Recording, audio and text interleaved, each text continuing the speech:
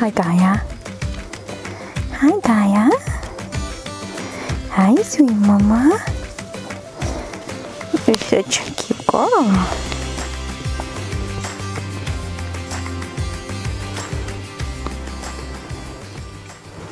One of the things that I get asked is what do you feed your goats? And in today's video, I am going to go over a few things that I am feeding the goats.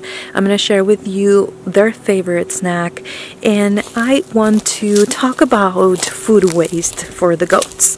So if you are new around here and you're enjoying my content, please remember to subscribe and thanks so much for being here today. Let's talk about goat waste.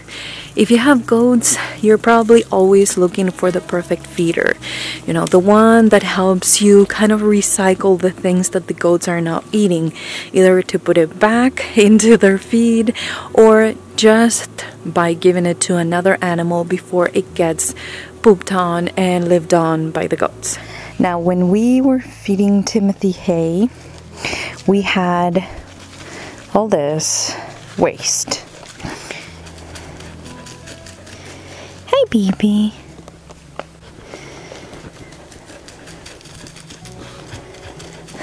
I've noticed that one of the things that really helps is when I buy the hay that is very well compact.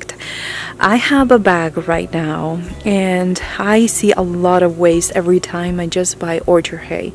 So as of recently, something that's been working really well for my goats is to buy alfalfa and orchard. Now this is what it looks like in the hay bag. The more compact is the green one, the alfalfa, and the other one, the mix is the more yellow one. Now, as you can see, some alfalfa falls, but they absolutely love it. So they'll eat it. But it's so compact that it really um, gives them a harder time to reach into the bag and pick the hay. This is alfalfa hay and it's a third cutting which means that is almost 100% alfalfa.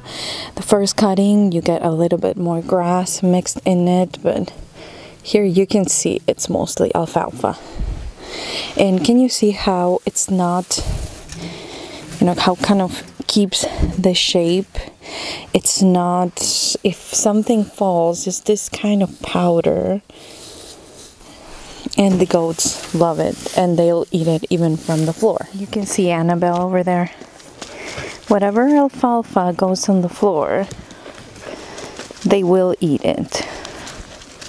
Now all this, that is Timothy and it's very kind of fluffy and long, it's something that they just don't want to eat. So they pee and poop on it.